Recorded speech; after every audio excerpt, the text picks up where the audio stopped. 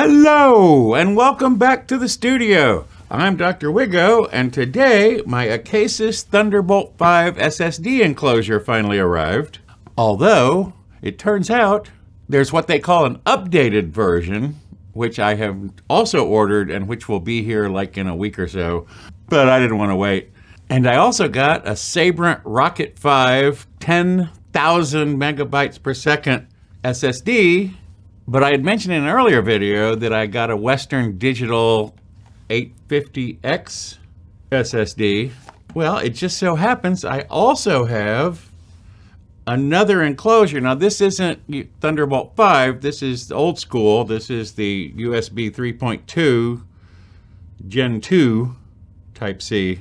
So we'll try it with this. No one cares about this one. We care about this one. So first I'm going to put the Western Digital in here because this is only 7,200 megabytes per second. So we'll see how that does in there on Thunderbolt 5. But then we'll put this one in here. And then we'll put this one in here into this one, the ROG Strix Arion from the Republic of Gamers has RGB. Yeah. I'll put the 8 terabyte SSD in here for now and then when I get the updated version, I don't know what the update is. They don't really explain it very well on their website. But when I get the updated version, I will move the Sabrent, the 10,000 megabytes per second, to the new one, and I'll probably put this into here, and, and I'll jiggle them around. I have lots of SSDs. And with the Mac Mini, you need them. Well, I'm not going to explain why I bought it because y'all know y'all know why I bought it. I wanted fast external storage for my Mac Mini. So we'll just get straight to the unboxing and then I will go downstairs to the office and I will test them out. And then I'll come back up here and show you the results, tell you how it went. I'm not going to set up cameras down there. Just for plugging things in and running a few disk drive tests. We'll start with the important one, the Acasis enclosure. Now, I have seen videos and people testing this, and apparently, to the Mac, this doesn't look like a Thunderbolt 5. It's a USB 4, I don't know. It's 80 gigabytes per second, or gigabit, I don't know.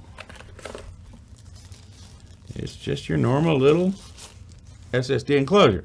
Now, it has a fan, which will come in handy for keeping the heat down. And apparently it's toolless. You just pop this off the back somehow. There we go.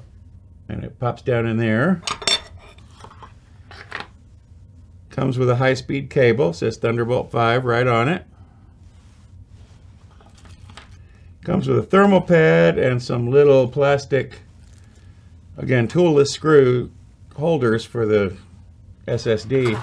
When I bought the enclosure, they also had a bundle for an $8 covering case. I don't know how to open this. So this is the carrying case. It's blue, says Acasis on the top. Oh, it has a little, I guess, place in here so you can, well, you have to have to coil that cable up a lot more to get it in there. But see, then this will go in here under this little thing. It was a dollar. Well, let's put the important drive in here first.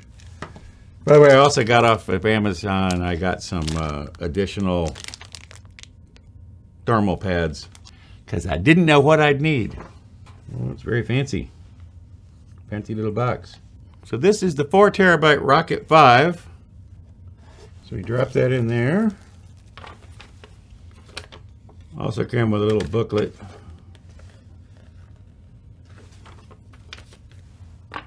But I know how this works. I need to put this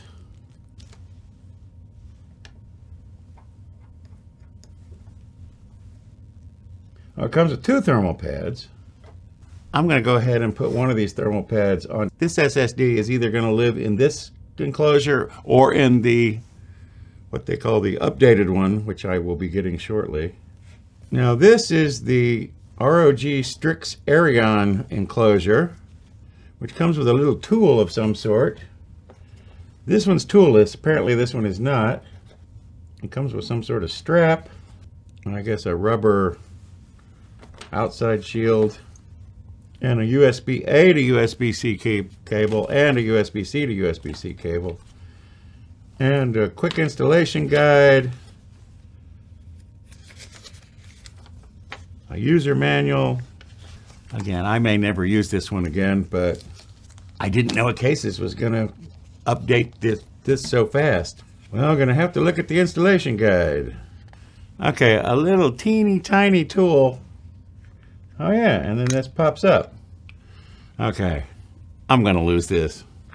Now the Western Digital, I got I got an 8 terabyte, so I this is for more storage space. Excuse me, I need to put on my glasses. This is a screw. This is not toolless. So I already, I'm already liking the Acasis enclosure better. I'm not liking this one. I couldn't get it locked in on the one side and then I locked in on the other, but now I can't get it out. To put the cover back on, you have to use the little tool again. Yeah, I'm not liking this one. Yeah, see now it's locked in. So I have an 8 terabyte in the Arion and the 4 terabyte in here. Okay, so now I'm going to go downstairs and try these things out and run some speed tests.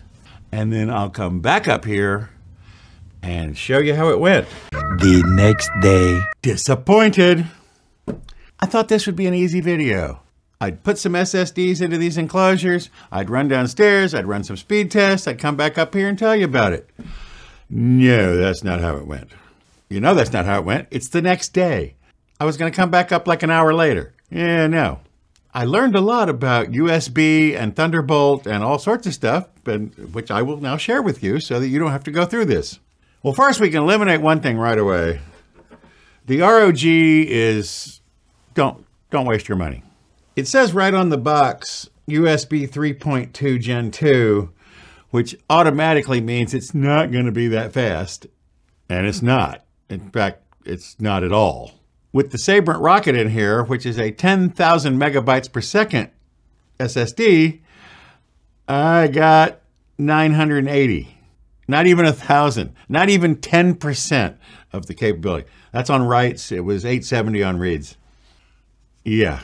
On the MacBook Pro, it was even worse because I tried it out in there too. It was 567 writes and 856 reads.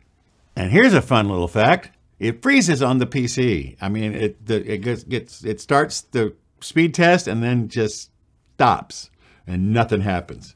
And I don't know what the now it is a two and a half, three year old PC. I mean, it was has a 3090. It was it was it was state of the art at the time. It was like almost ten thousand dollars. But these things move fast. So this thing was just relatively useless. Which again, to be expected. This is intended for Gen 1, Gen 2 type NVMe SSDs. So I'll just get that out of the way and not talk about it ever again. To tell you the truth, I don't remember buying it when I was coming up to do the video. I found it on the table where I keep all the stuff that comes in. So I don't know when I got it. It was a while ago. Let's talk about this guy, the Acasis. Also not the best. The reason to get Thunderbolt 5 is for the really high-speed SSDs. The Sabrent Rocket is one of them. If you put the Sabrent rocket in here on the Mac Mini, it won't mount. It just doesn't appear. It doesn't ask you, do you want to uh, install this accessory? Nothing, nothing sees it. It's just not there. Same thing on the MacBook Pro. On the PC with either of the SSDs in here, you get a power surge. This thing tries to draw more power than my USB-C ports on my PC will give it. So it, I, I get a power surge and it won't mount. Maybe that's what's happening with the with the rocket on the Mac Mini. They don't mount. Luckily, I had bought the Western Digital 8 terabyte, which is like a 7,200 megabytes per second drive. It works in here. The internal SSD on the Mac Mini is 6,100 writes and 5,000 reads.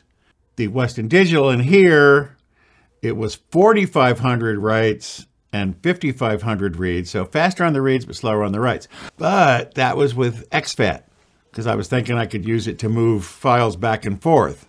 But remember, it gets a power surge. even with the Western Digital in here, and it will not mount on the PC, so this is not going to be possible to move it back and forth. Let's look at this with the Western Digital hard drive formatted differently. So, like I said, at exFAT, it's 4,500 writes and 5,500 reads. But in APFS, the Mac-only file system, 6,000 writes and 5,600 reads.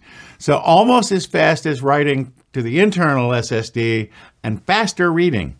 This is going to be a great little drive for use with the Mac Mini because it gets really decent speeds and 8 terabytes. And with the fan, it's not going to overheat, it's not going to slow down. So we're in pretty good shape that way. Oh, now on the MacBook Pro, this is not such a handy drive to have because you get 3,000 reads and 3,000 writes, which is roughly half of what you get on the Mac Mini. But of course, the Mac Mini is Thunderbolt 5, 80 gigabits per second. And the MacBook Pro is Thunderbolt 4, which is 40 gigabits per second. Half the speed. Well, look, look, we got basically a little less than half the speed. Thunderbolt 5 makes a huge difference.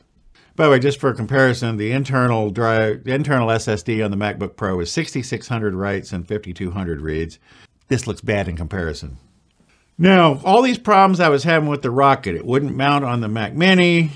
The, the Rocket 5 did mount in the ROG on the MacBook Pro, but again, 567 writes and 856 reads, which is just dreadful. But of course, that's that USB 3.2 speed. Couldn't use it at all on the PC.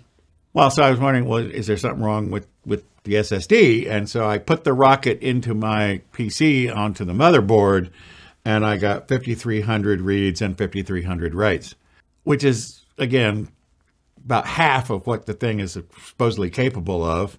My motherboard isn't PCIe Gen 5, so it's going to be slower. It doesn't have all the lanes and all that stuff. So 5,300, but that meant the SSD was good. So it wasn't the SSD causing the problems, it was this little guy.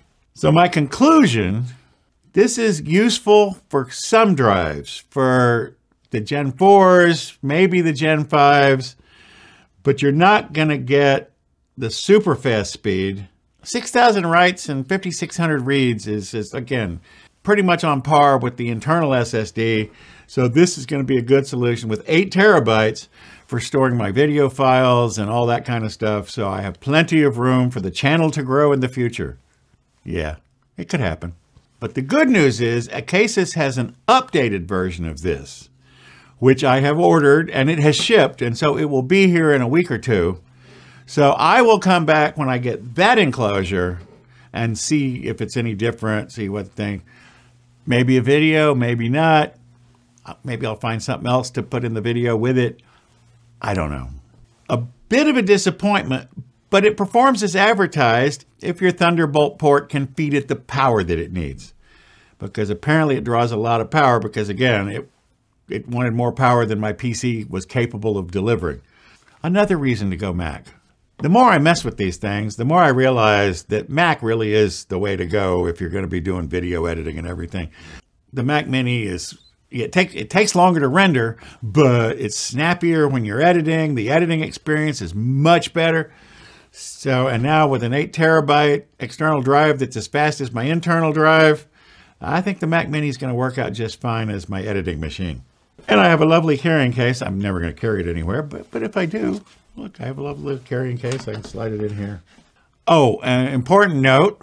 The Mac Mini does not think this is a Thunderbolt 5 device. It thinks it's a USB 4 device.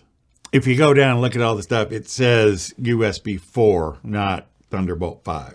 So it's Thunderbolt 5 speed, but it's actually a USB 4 enclosure. And it's not false advertising because you'll notice it says 80 gigabits per second on the box. It does not say Thunderbolt 5. Although the product number is TB501, so it was supposed to be Thunderbolt 5. Yeah, nowhere, nowhere on the box does do the words Thunderbolt 5 appear. We'll see when the updated version comes in. Maybe that will say Thunderbolt 5 somewhere on the box. Or not. So that video will be coming up in a, in a couple of weeks. That's all I got. It's a little pricey, but it's fast. It's under $300. And you can get it. They have sales. I mean, it seems like they have a constant 15% off sale. And then, like I said, they sell these with like for a dollar if you buy one of these. So it, you can get a decent deal on it. But again, it's going to be a few hundred dollars. And then, you know, for an eight terabyte drive, that's like another $600. So you got like a thousand dollars in here. Wow, that's a lot of money. Uh, unless you look at Apple's 8 terabyte upgrade price. Then all of a sudden, this looks cheap. I'm glad I got it. So that's it for today. Thanks for stopping by. See you next time. Bye bye. And now I just got to wait for my new enclosure, the updated version, to arrive. Thanks for staying to the end. Bye bye.